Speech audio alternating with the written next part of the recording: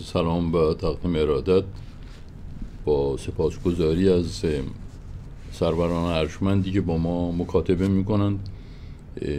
بیننده محترمی سوال فرمودند که اگر ممکن باشد آغاز برنامه ها را به وقت اروپا هم یادآور بشوید. تصور می‌کنم زمان اروپا حدودا 9 ساعت اگر اشتباه نکنم بعد از ما هستند. یعنی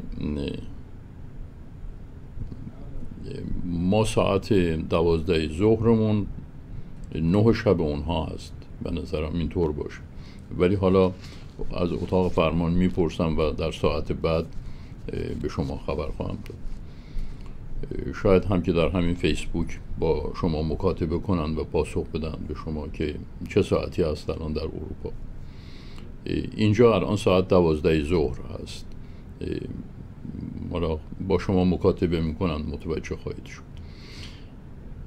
به آیه شماره دویست و پنجام و نه می‌پردازیم و ادامه این آیه رو تشریح می‌کنیم برای شما که موضوع این است که یک آدمی در مثال در مثال به مرگ صد ساله می رود از مرگ صد ساله برمیخیزد. و در کنار او یک علاقی بوده یک تعامی بوده و یک نوشیدنی بوده. برای او این تصور وجود داشته که ساعتهایی به خواب رفته. واقعیت این امر این بوده که یکصد سال گذشته برای او. ولی خود او چند ساعت دیده. و واقعیت دیگر این است که در دنیای خارج از او در عالم مستقل از او هیچ زمانی نگذشته. یعنی او وقتی برگشته به این دنیا هیچ زمانی برای این رفت و برگشت وجود نداشته. ولی واقعیت این است که صد سال گذشته از دیدگاه او چند ساعت گذشته. این مبحث بسیار پیشیده رو سعی کردیم که با مثال های جنبی روشن کنیم و اصل موضوع این آیه در باره چگونگی حیات بعد از ممات هست و گفتیم که این فکر و اندیشه در ذهن انسان همیشه هست که از این خاک مرده از این خاک بیجان که ما با چشم خودمون می‌بینیم که از این خاک حیات ایجاد میشه. و بعد به دو نوع حیات اشاره کردیم. حیاتی که حیات جماد است تبدیل به حیات نبات می شود تبدیل به حیات حیوان می شود یعنی زنده می شود زنده حیوانی. این جماد و نبات و حیوان. حیوان نه به عنوان موجود خاص حیوان اشاره نمی کنم منظور من حیوان هست. چیزی که دارای حی باشد دارای حیات باشد حیاتمند باشد. حیوان منظور من حیاتمند است. نوع دو جور حیات در مورد انسان بررسی میشه. یکی حیات ناشی از جسم اوست. یعنی حیاتی است که حیات حیوانی انسانه. حیاتی است که در اثر ترکیب ماده به وجود آمده. یعنی حیاتی است که متکی به پایه ماده است و هستی جمادی هست. روی این ساخته شده. مثل فرض بفرمایید که نمک تعام که از ترکیب کلور و سودیوم ساخته می شود جان انسان نتیجه ترکیب ذرات مختلف مادی است که ایجاد یک نوع حیات حیوانی می‌کنه. نوع دیگر حیاتی رو که ما در مورد حیات قالب بدن یا حیات خاک یا حیات حیوان نام می‌بریم حیات روحانی انسانه که در حیات روحانی این عقیده قرآنی وجود داره و ما به عنوان پیرو این کتاب اون عقیده رو میپذیریم که یک حیاتی به نام حیات روحانی ما داریم که اون حیات مستقل و مجرد از ماده است. یعنی اگر که بگوییم که حیات معنوی یا حیات روحانی مثل آب دریا باشه و ماهی یک قالبی باشه که به وجود میاد در دریا از املاح دریا از خاک دریا ماهی به وجود میاد. در کجا؟ در دریا. این ماهی دارای یک خاصیت حیوانی است دارای خاصیت زنده بودن حیاتی است. یعنی دارای جان هست این ماهی. اما در عین اینکه دارای جان هست که متکی به ماده از جان او اما چون دهنش رو باز می‌کنه و چون همه جسمش که جان داره در دل این دریاست و اگر این دریا رو روح بنامیم طبعا در این دریا در روح قرار داره. یعنی ماهی هم دارای جان ماهوی است مربوط به ماهیت اون ماهی است هم دارای جان دریایی است. دو نوع جان داره. وقتی که جان حیوانیش رو از دست میده تبدیل میشه به یک موجود مرده تبدیل میشه به پودر تبدیل میشه به خاک تبدیل میشه به گیاه در داخل آب. رسوب می‌کنه در آب. ولی روح جایی نرفته آب دریا سر جاش هست. رابطه ما با روح رابطه با این ترتیب است که روح یک امر مستقل و مجرد است و ما داخل روح میشیم و از روح خارج میشیم. روح در ما داخل و خارج نمیشه. این تبادل و ورود و خروج رو شاید در بخش دیگری به تفصیل بیان بکنیم. ولی اینجا سخن در این است که وقتی ما راجع به زندگی صحبت می‌کنیم که از این خاک چه برمیخیزد؟ از این خاک جان برمیخیزد. ولی از این خاک روح هم برمیخیزد یا روح بر نمیخیزد؟ و وقتی ما راجع به ساختمان صحبت می‌کنیم ساختمان انسان صحبت می‌کنیم راجع به دو ساختمان مختلف صحبت می‌کنیم. یکی ساختمانی است که بر مبنای ایجاد جان هست یعنی ذرات مادی با هم مرکب و متشکل میشن و حیات حیوانی انسان رو تأمین می‌کنن. یعنی ما جاندار می‌شویم. حیاتمند حیوانی می‌شویم. جان حیوانی پیدا می‌کنیم. تبدیل به یک موجود زنده می‌شویم جاندار می‌شویم. اما نوع دیگری هم حیات در این جان وجود داره که اون حیات روحانی است و کسانی که موحد هستند بر این باور هستند که اون حیات روحانی مجرد است و از جسم به وجود نمی آید بلکه در جسم حلول می کند این خیلی تفاوت می‌کنه که روح خاصیت ماده باشه یا اینکه روح در واقع تجلی بخش عظمت خودش در آینه ماده باشه. یک وقتی ما از ماده به عنوان آینه استفاده می کنیم ماده وقتی که آینه نیست ماده است جماده نباته.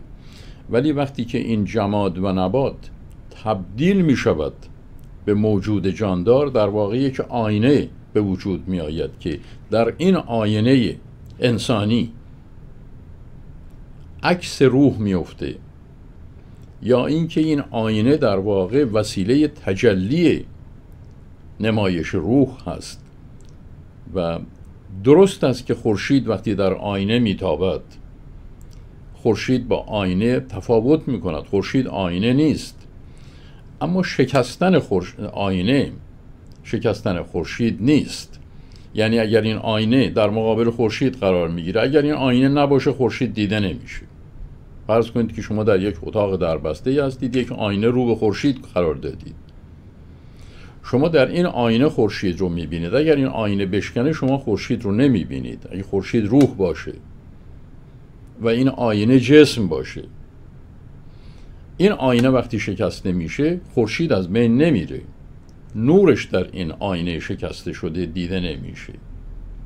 هر وقتی که این آینه به وجود بیاد در این آینه نور خورشید دیده میشه. خود این آینه یک جان آینه ای داره.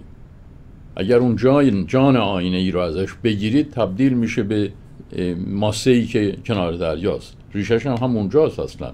جنس آینه همون ماسه سنگی است شیشه نزدیکتر از سنگ ندارد خیشی. هر شکستی که به هر کس برسد از خیش است. وقتی که ما به آینه نگاه می‌کنیم آینه در واقع تشکل و جاندار شدن خاکه. خاک وقتی جاندار میشه میشه موجود جاندار. این موجود جاندار در مقابل روح که مثال خورشید رو می‌زنیم قرار وقتی می‌گیره اشعه خورشید و عکس خورشید و اثر خورشید رو در خودش می‌بینه. تأثیر روح در جسم وقتی که این جسم زائل میشه روح جایی نمیره. خورشید هر جایی که هست همونجا هست. این جسم آینه است که ظاهر میشه و غایب میشه. ساخته میشه و فرو میریزه. انسان دو سوال می‌کنه در اینجا از خودش. هم راجع به ساختمان آینه سخن می‌گوییم ما. هم راجع به ساختمان خورشید سخن می‌گوییم. هر دوی اینها حیات هستند. ما راجع به دو حیات صحبت می‌کنیم. در این مثال هایی که تا حدی فهم موضوع رو آسانتر بکنه. یکی حیات آینه است که در واقع جان جماد هست. خاکی است که مرده ولی این خاک زنده میشه. این سوال پیش میاد که این خاک چطور زنده میشه؟ و بعد این سوال پیش میاد که آیا روح و حیات روحانی و انسان روحانی اون روحش هم از همین خاک ساخته شده یا جان روح آدم از جای دیگری است؟ و آیا روح بر ما وارد میشه و خارج میشه یا ما در روح وارد و خارج میشیم؟ آیا آینه در خورشید وارد و خارج میشه. یا انعکاس آینه در انعکاس خورشید در آینه متجلی میشه. شاید که در این آیه و آیه های بعدی که در همین ارتباط هست بتوان که توضیحات بیشتری تقدیم کرد. به این علت هست که ما این آیه رو در بعضی از قسمت ها مکرر شروع کردیم. چگونه در این دنیا و چگونه در دنیای دیگر آفرینش حیات یا زنده شدن خاک و یا ایجاد روح و چگونگی تحول بین حیات و ممات و مرگ و زندگی در این دنیا و در دنیای دیگر چطور انجام می شود در این آیه اشاره می کند که در این قریه مرگ و نیستی و فنا به اوج و به سقف و به حد نهایت رسیده بود. و بعد می‌گوید که در بهت و حیرت وقتی نگاه می‌کنن به این ده خرابه به این مثالی که همه چیز به هم ریخته که خدا این مردگان و این اموات رو چگونه زنده خواهد کرد؟ اینهایی که رفتن زیر خاک در این ده در این شهرک بعد از آن که اینها به مرگ رسیدن. یعنی بعد از مرگشان خدا چگونه این مردگان رو زنده خواهد کرد؟ و راجع به دو حیات صحبت می‌کنیم. ما راجع به دو زندگی صحبت می‌کنیم و احتمالا خواهیم رسید که ببینیم راجع به یک یا هر دو زندگی این کنجکاوی و سوال وجود داره. البته در متن آیه از واژه حاضهی اشاره شده یعنی که اینها در واقع اون مردمی که در این ده در این تخریب و ویرانی به مرگ رسیدن. سپس او به وسیله آیه قرآن میگه سپس او به وسیله الله به موت و به مرگ رسید و در واقع به حکم الله مجبور به پذیرش مرگ و موت شد. ف اماته بر اون موت واقع گردید. یعنی تردید نکنید. یعنی فرض مسئله فرض مسئله است که بازرگانی ده تا پرتغال خرید. نه خیر ما اعتراض داریم. ما فکر می‌کنیم که نه تا پرتغال بیشتر نخریده. اصلا این اساس و سازمان مثال رو به هم میریزه. اصلا دیگه این مسئله ارزشی نداره که بقیهش هم باید رها کرد دیگه. اما اول میگن ما اعتراض داریم. بشمار ببینم چند تا پرتغال آورده بوده. سندی دارید. میگن آقا اصلا سند چیه؟ این من دارم مثال می‌زنم که تو ضرب و تقسیم یاد بگیری. ده تا پرتقال خرید دانه یک دلار. دو تا پرتقال خراب شد. هشت پرتقال رو فروخت دانه دو دلار. حساب کنید که چقدر سود کرده. این چهار عمل اصلی رو از شما می‌خواد جمع و تفریق و ضرب و تقسیم. اصلا از شما نمی‌خواد که راجع به پرتغال و راجع به شهری که این پرتغال ها در اومده و سابقه پرتغال فروش صحبت بکنیم. اکثرا هم ما راجع به همونها صحبت می‌کنیم. در آموزش قرآن هم ما متوجه همین به طرف همین انحراف تعبیری و تشریحی از قرآن مبتلا میشیم و سقوط می‌کنیم. که ما نتیجه داستان رو رها می‌کنیم که آیا همچین اتفاقی افتاده یا نه؟ آیا مرده میشه که آدم بمیره و دو مرتبه چشمش رو باز کنه؟ نه نمیشه. پس چرا قرآنی مثال رو زده؟ پس چه مثالی بزنه؟ همین مثال رو همی که زده بازم فهمش انقدر مشکله. سپس او به وسیله الله به موت رسید. یعنی در این تردید نکنید شاید هم نمرده باشه شاید هم مرده باشه. اماتهو به اون مرگ وارد شد وارد کردیم. موت به او دادیم. خدا میگه. دیگه این رو اگر می‌خوایم داستان و فرض مسئله رو قبول کنیم که از همینجا قبول بکنیم که موت داده دیگه. تبدیل به ممات شده. به وسیله الله برای مدت یک سال یعنی برای یک سال مرد و برای یک سال در موت اقامت کرد سپس بعد از مرگ صد ساله او را از مرگ برانگیخت و آنگاه به او گفت از او سوال کرد که چه مدت است؟ برای چه مدت است که هستی؟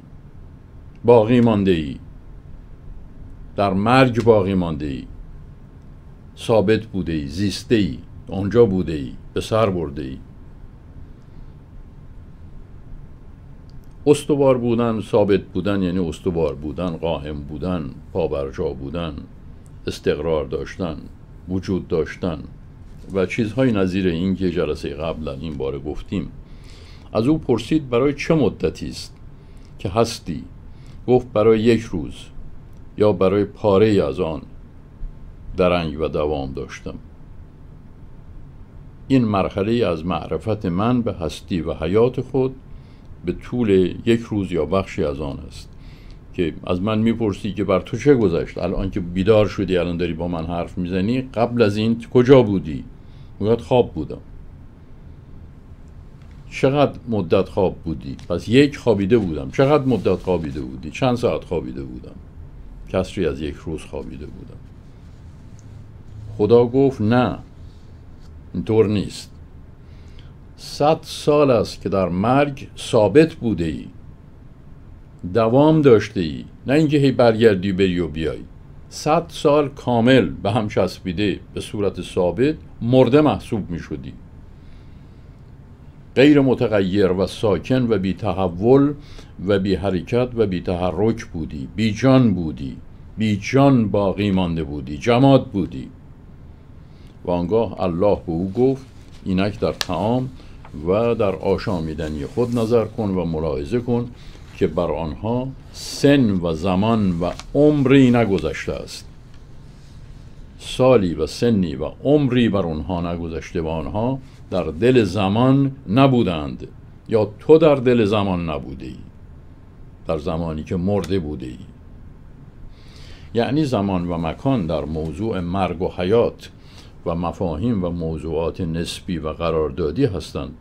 نگاه کن که در محاسبات معمول واقعیت این است که یکصد سال یعنی سال تقویمی گذشته است و تو صد سال در مرگ زیسته ای و زمان بر تو عبور نکرده و مرگ تو را نگرفته یا تو را گرفته و تو از زمان خارج شده ای و به پس زمان قبل از وقوع مرگ بازگشته ای پس یا زمان رو پس رفتی یا زمان برات متوقف شده.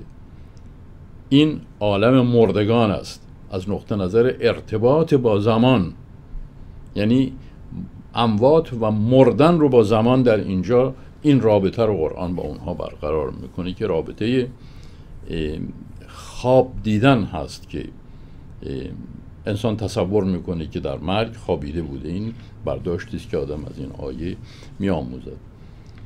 یعنی زمان مرگ تو بر تو نگذشته است و به رجعت بازگشته است در حالی که زمان و عمر بر جماد و نبات در کنار تو توقف داشته است. در این تشبیه قرآنی به سه نوع تحول و تحرک و عبور زمان در مکان سخن می‌گوید زمان در حال پیشروی به پیش زمان در حال توقف کامل و زمان در حال برگشت به احوال گذشته. و همه اینها در ارتباط با ذریب های اندازهگیری بشر معین و مسجل میشه.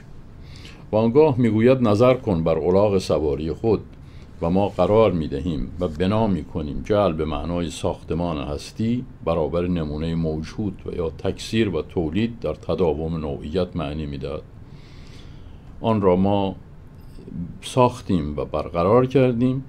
ما جعل می کنیم ما قرار می دهیم تو را به عنوان نشانه و دلیل و حجت و آیت و منطق و شاهد و سند برای نوع بشر و برای همه انسان ها خوب توجه بکنید. در اینجا یک بار دیگر به ماهیت متشابه این آیه تصریح می‌کنه قرآن. که از آنچه که گفتیم در مورد اولاغ تو در مورد شراب تو در مورد خوراک تو در مورد مردن تو در مورد خواب تو تمام اینهایی رو که تعریف کردیم. همه اینها به عنوان آیت به عنوان دلیل به عنوان نشانه به عنوان سند به عنوان شاهد به عنوان نمونه در نوعیت انسان و در نوعیت داستانه. یعنی همه اینها دلایل و اسنادی است که ما ارائه میدیم خدا می‌گوید. نشانه هایی است که ارائه میدیم. مثال هایی است که ارائه, ارائه, ارائه میدیم که برای شما موضوع حیات و ممات مشخص بشود. و این مربوط به این انسان نیست اصلا. در این آیه وقتی که می‌گوید که ما قرار دادیم این داستان رو این متشابه رو آیتا نشانه ای برای همه مردم. یعنی این داستان یک انسان نیست داستان انسانیت داستان نوع بشره داستان مرگ برای همه انسان هاست. داستان نسبی زمان نسبت داشتن زمان به مکان و به شرایط انسان و حرکت زمان در مرگ و حرکت زمان در حیات دنیایی. به چه صورت و به چه رابطه هستند اینها با هم؟ می‌گوید همه اینها این درس ها رو ما به شما میدیم و این درس ها فقط مال اون یک آدمی نیست که در قرآن مثال می‌زنه. که از دهی میگذشت و دید خراب شده و بعد فکر کرد که این مرده ها چه میشن و همین داستان هایی که شنیدید. می‌گوید هیچ کدام اینها قاطعیت فردی ندارد که ما راجع به فردی صحبت می‌کنیم. داستان رو یاد گرفتید فراموش کنید. ما راجع به نوع بشر سخن می‌گوییم و این قوانین و این شرایطی که در این داستان تعریف کردیم فقط بر این فرد نیست که مورد مثال قرار گرفته. در اینجا از احکام استفاده میشه. یعنی جایی است که در این قسمت کوتاهی که ملاحظه میفرمایید که لنجعلک برای اینکه قرار بدهیم برای شما آیه نشانه سندی شاهدی برای نوع بشر. یعنی این مثال مثالی است که بر نوع بشر حاکمیت داره و شامل میشه. و به طور کلی انسان چنین سرنوشتی داره. یعنی انسان دارای قالب خاکی است. قالب خاکی او دارای جان حیوانی است و در این جان حیوانی مثل ماهی که در آب حرکت می‌کنه همه جان حیوانی او رو روح الهی و روح روحانی در بر گرفته. و این در درون این روح به لحاظ داشتن جان خاکی برداشت داره از حیات خودش. یعنی به مناسبت اینکه جان داره اون جان او شاید باعث میشه که روح خودش رو شناسایی کنه حیات روحانی خودش رو بشناسه که من کی هستم؟ من فقط خاک هستم؟ من فقط خاصیت خاک هستم؟ یا من چیزی افسون بر خاک و خاصیت خاک دارم؟ در اینجا به نظر می رسد از عبارت به اولاغ خود نگاه کن. مقصود این است که به دوام حیات در اولاغ خود نگاه بکن به عدم گذشت زمان به اولاغ خود نگاه بکن که زمان و سن بر او متوقف شده. یعنی اشاره به عدم عبور و گذشت زمان. از جماد و نبات و حیوان سخن می‌گوید و اشاره می کند که بر جماد و حیوان و نبات زمان نگذشت زمان بر تو هم نگذشت در حالی که زمان واقعا گذشت. در این مثال علاوه بر جهت حرکت زمان به سرعت زمان نیز اشاره می کند در جماد در حیوان زمان متوقف شده اما در انسان زمان متوقف به صورت زمان کوتاه دیده می شود و بعد زمان در واقع بطیع می شود آرام می شود و بعد در جای زمان به صفر می رسد و متوقف می شود همونطور که چند بار هم گفتم به سه زمان در حال حرکت زمان در حال تعنی و بطیع بودن و زمان در حالت توقف اشاره می‌کنه. و دریایی از مفاهیم و موضوعات در این آیه در اینجا ذکر شده است.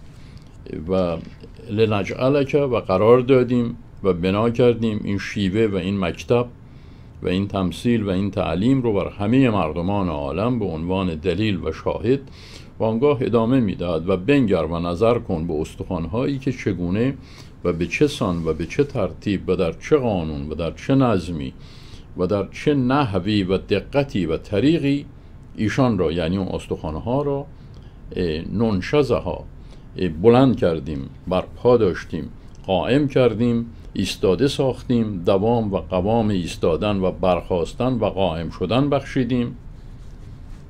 نشزه همچنین به مفهوم اصطلاحی در واقع علیل شدن یا ناتوان شدن و بیمار شدن معنی میده معنی رفتار نامناسب میده نافرمانی نشازه معنی نافرمانی میده رفتار و برخورد و تعامل ناشایست معنی میده سرپیچی تفره رفتن. تنفر داشتن مکروه و منفور و زشت در رفتار و در تعامل غیرعادلانه پشت پا زدن ترک کردن و سرکشی کردن همه اینها معنی میده. در اصطلاح غلطی که به کار می‌برند در افترای به قرآن که زنانی که ناشزه هستند زنانی که نشوز می‌کنند در حالی که در قرآن برای مردها هم نشوز آمده و بیان این رو می‌کنند که زنانی که از مردان خودشون زنانی که از شوهران خودشون نافرمانی می‌کنند اینها رو باید زد باید چه کرد چه کرد که بارها گفته شده. معنیش این است که زنانی که بایستی که حافظ قانون و حافظ دستورات خدا باشند و زنانی که در مقابل قانون خدا به اسیان و سرپیشی و نشوز می‌پردازند. نه در مقابل قانون مرد. قانون مرد اگر شبیه قانون خداست که خب قانون خداست. اگر قانون مرد یا شوهر شبیه قانون خدا نیست که قانون نیست. زور است. و باید با او مبارزه کرد. باید نافرمانی کرد. پس منطق من این است که اگر قانون شوهر با قانون خدا یکیست نافرمانی از شوهر برابر نافرمانی از خدا و بنابر نافرمانی از خدا هم برای معادل نافرمانی از شوهر است. بنابراین ما می‌گوییم که کسانی که از خدا نافرمانی می‌کنند شوهر کنار میره. اگر قوانینشون یکی باشه. اگر قوانین شوهر با قوانین خدا تفاوت داشته باشه باز هم شوهر کنار میره. باز هم تابعیت از خدا ارجا است و به هر حال شوهر در اون آیه نقشی نداره و 1400 سال است که به دروغ به ما می‌گویند که از شوهرانشان اطاعت کنند. زن به هیچ عنوان نه مرد نه زن وظیفه اطاعت از یکدیگر رو در زندگی زناشویی ندارند درست میشنوید؟ هرچه هم غیر از این گفته است دروغ گفته است. و من به مذاکره و مناظره با او آماده هستم. هر کسی که باشد در هر کجای دنیا که باشد. نه زن نه مرد. هیچ کدام در زندگی زناشویی نباید از یکدیگر اطاعت کنند مگر آنکه اطاعت از یکدیگر اطاعت از خدا باشد. یعنی اگر قانون مرد یا مطالبات مرد معادل مطالبات خدا باشد. به زن می‌گوید که تقوا داشته باش و تقوا رو خدا معین می‌کنه قانون تقوا رو نه شوهر. بنابراین زن اگر دید که شوهرش قانون تقوا رو مطابق قرآن داره معنی می‌کنه و بیان می‌کنه می‌گوید اصلا تو بگی یا نگی من باید از قانون تقوا دنبال روی و اطاعت بکنم تبعیت بکنم و می‌کنم. شما هم تذکر دادی ممنونم. ولی قانون تو نیستان تو شوهر توجه داشته باش که تو قانونگذار نیستی. اجازه قانونگذاری هم نداری. و هر چه می‌گویی به نام خودت فضولی محض است. تو باید بگویی که این قانون تقوا قانون خداست. قرآن رو بخوان ببین این قانون تقوای خداست. و تو مسلمان هستی تو متعهد هستی که قانون تقوای خدا رو رعایت بکنی. مراقب باش که ناشزه نشوی. نشوز نکنی در مقابل اطاعت از خدا سرگرد سرپیچی و اسیان نکنی. بنابراین اگر قانون مرد و زن قانون خدا باشد که اطاعت از خدا به صورت طبیعی اطاعت از زن و شوهر میشه از یکدیگر. ولی اگر که قوانین زن و شوهر با قوانین خدا متفاوت باشه نباید از هم اطاعت بکنند. باید از هم جدا بشن اگر نتوانند به توافق برسند این است که موضوع اطاعت زن از شوهر مطلقا در قرآن وجود نداره. نگویید که به من من دستور سرکشی به زنها میدم. گفتید چند بار هم. زندگی مردها رو به هم ریختم زنها رو پررو کردم چه کردم چه کردم. این حرفایی رو که به من می‌زنید هیچ کدومش برازنده شما برای گفتن و برازنده من برای شنیدن نیست. من زنها رو تشویق به نافرمانی نمی کنم من زنها رو تشویق می کنم به اینکه فرمان خدا رو انجام بدن و فرمان شما رو با خدا تطبیق کنند. با چشم بسته فرمانهای شما رو قبول نکنند شما هم نسبت به ایشان همینطور باید باشید. نمی توانیم که ما فرمانهای خودمون رو به امضای خدا برسانیم. خودمون امضا کنیم زیر فرمان رو بگیم خدا امضا کرده. اون رو من مخالفت می‌کنم و باز هم خواهم کرد البته. واژه دیگری در اینجا آمده کسبه به معنای پوشاندن تلبیس کردن لباس پوشاندن قالب بستن و در واقع یک مظروفی رو با ظرف در بر گرفتن و ظرف برای مظروف ساختن برای یک کانتنتی یک کانتینر ساختن. یک ظرفی رو بسازید که در درون این ظرف یک مظروفی قرار داشته باشه. به این می‌گویند که کسبه بنگر چگونه استخوان را استخوانها را برافراشتیم و ایستادن به استخوانها آموختیم و ایشان را قائم و استوار ساختیم و قوام و ایستایی و قیام به استخوانها بخشیدیم. و بر آن استخوانها نگاه کن که چگونه پوست و گوشت و قالب و پوشش و در واقع لباسی از پوست و گوشت بر این استخوانها قرار دادیم. در مورد اینکه استخوانهای انسان قائم می شود و می ایستد اینهایی که تاریخ انسانشناسی و اینها خواندن می‌گویند چند میلیون سال طول کشیده تا انسان از حالت نشسته به حالت حرکت در آمده و چندین میلیون سال طول کشیده که انسان از حالت چهار دست و پا به حالت ایستاده یعنی روی دو پا بتواند که بایستد. و اگر شما به مهندسی محاسبات مکانیکی این کار نگاه بکنید ببینید که چقدر موضوع مشکلیه که آدم بتواند که با این قد بلندی که دارد و اینها خودش رو در مرکز تعادل نگه دارد و روی دو پا بیستد. به هر حال زمانی میگذره و این اتفاق میفته قرآن می‌گوید که نگاه بکنید و فکر بکنید که چقدر طول کشیده تا این استخوان ها روی هم قرار گرفته و تو می‌توانی که بیستی به پا بیستی. قائم بشوی. چهار دست و پا راه نری یا جورهای دیگه. پس از این وقایع برای آن انسان تمثیلی و تشبیهی قائل شدیم. اون انسانی که انسان تشبیهی و تمثیلی هست در اینجا داریم ذکر می‌کنیم که وقتی این حقایق وقتی این وقایع رو دید و شاهد شد و معلوم اون شد و این امور بر او کلا آشکار و روشن شد گفت اینک من می‌دانم به درستی و یقین یقین کرد.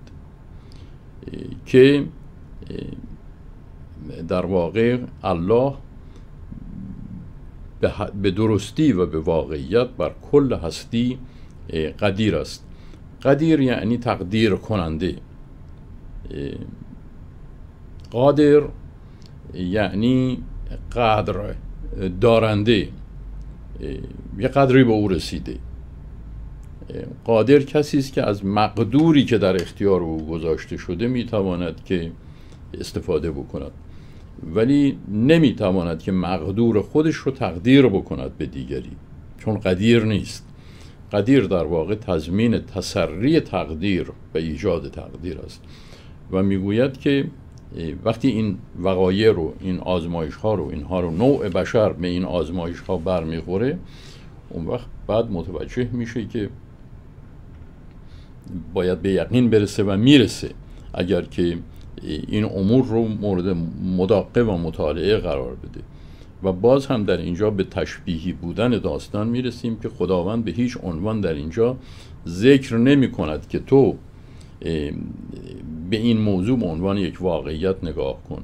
بلکه می‌گوید این یک امر بنیادی و این یک امر آموزشی است که برای کل بشر این حکم صادق است که انسان از این دهلیزها و از این مراحل استدلال و تجربه و منطق عبور می کند و یک امری که اول باور ندارد تکذیب می کند بعد تردید می کند بعد مبهوت می شود بعد حیران می شود بعد سرگردان می شود و نتیجتا در گذشت از این مراحل به یقین می رسد پس این داستان این آیه در واقع از رسیدن تردید و تکسیب سفر به دنیای بهت و حیرت و تلاش و کنکاش برای رسیدن به یقین و رسیدن به یقین است.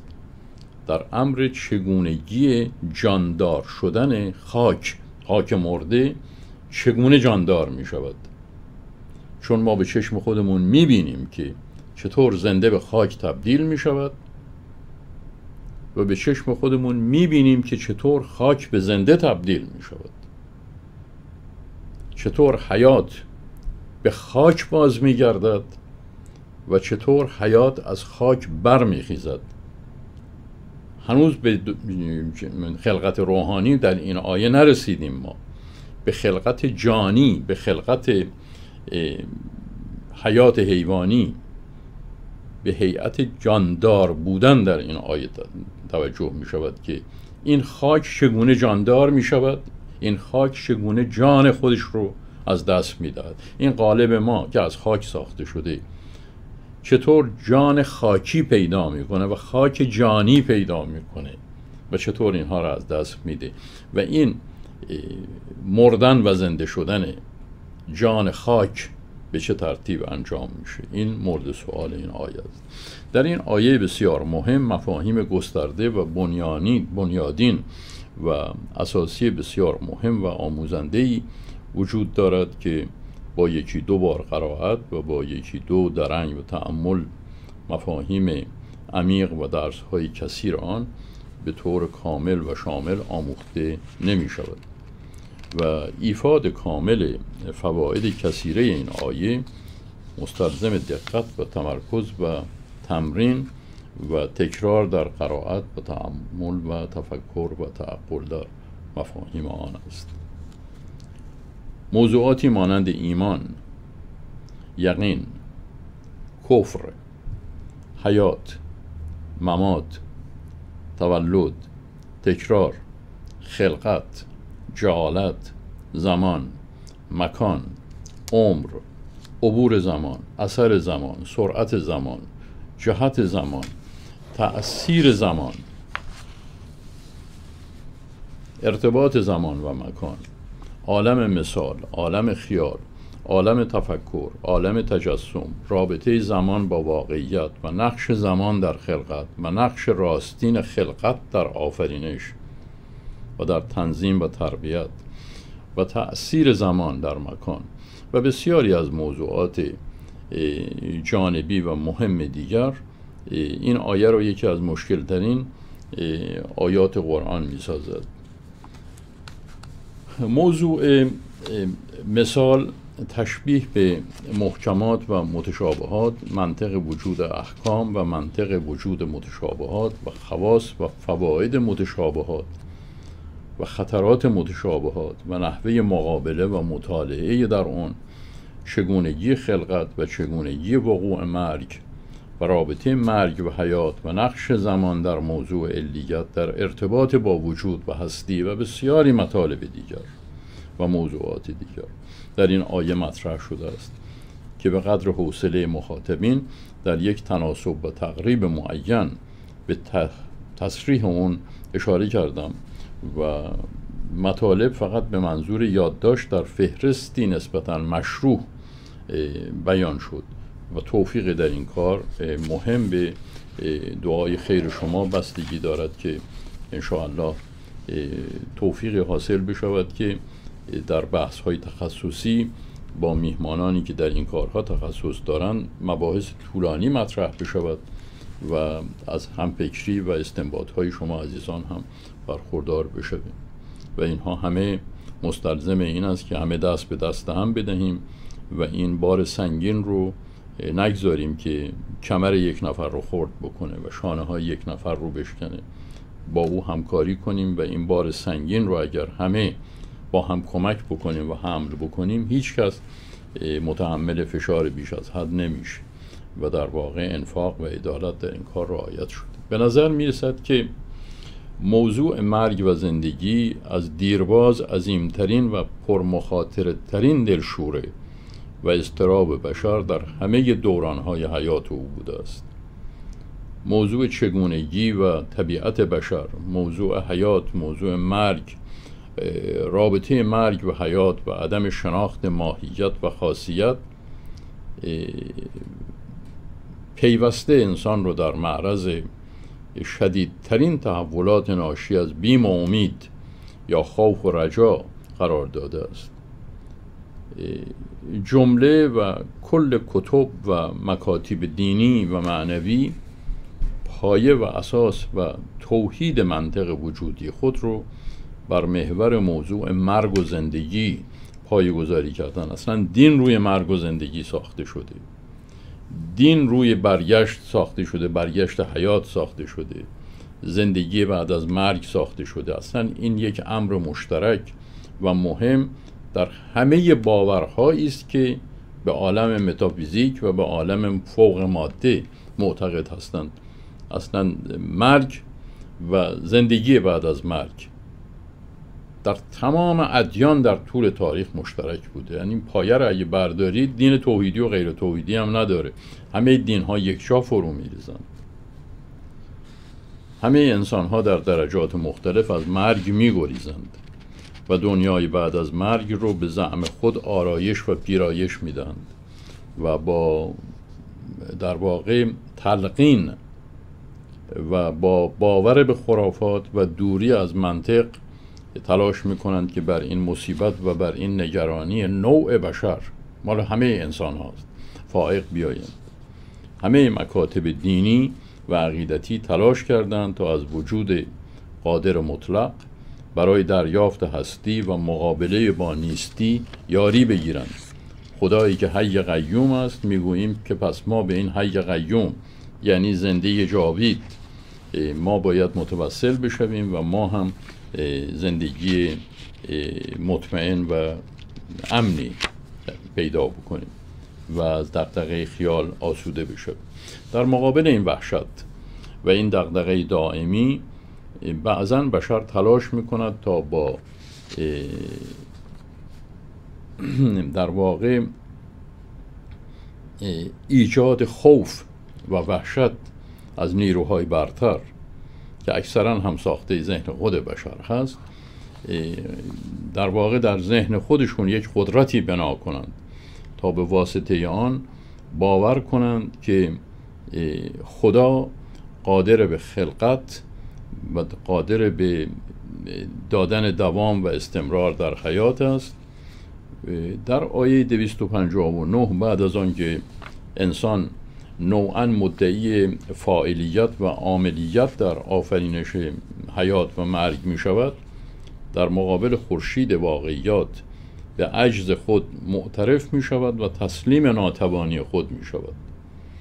آنگاه در پی فائل و عاملی برمی آید که همه مفعولات و معلومات ناشی از فعلیت و قدرت اوست قدیر است.